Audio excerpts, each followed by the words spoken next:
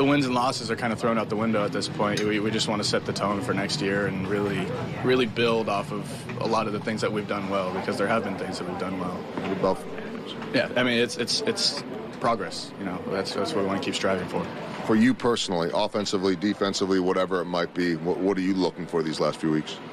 Just to play Nick Pratto baseball, get back to me being me, and kind of just throw the last couple months I've had out the window and get back to taking good at bats and playing good defense.